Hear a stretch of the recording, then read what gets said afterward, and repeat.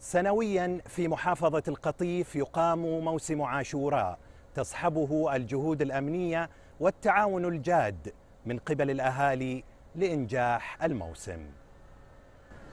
ثبت للجميع ما استطاع أن يمارسه الشيعة في المملكة العربية السعودية من أداء لشعائر محرم. فشكرا لهذه القيادة وولي العهد واهتمام سمو أمير المنطقة ونائبه وكذلك المحافظ ورجال الأمن الذين سخروا أنفسهم في خلال هذه العشرة لإبراز هذه الشعائر بمظهرها اللائق بها.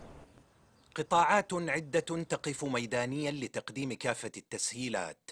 شرطة القطيف ووزارة الصحة والدفاع المدني والهلال الأحمر وبلدية القطيف.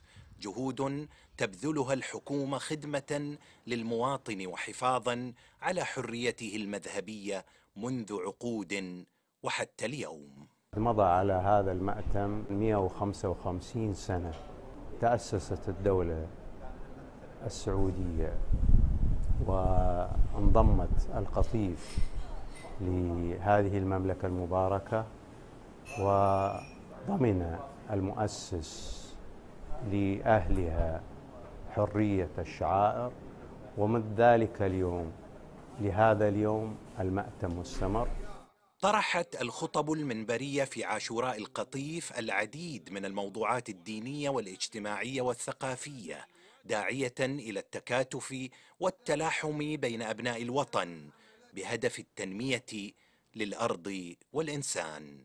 محمد الحمادي الإخبارية. القطيف.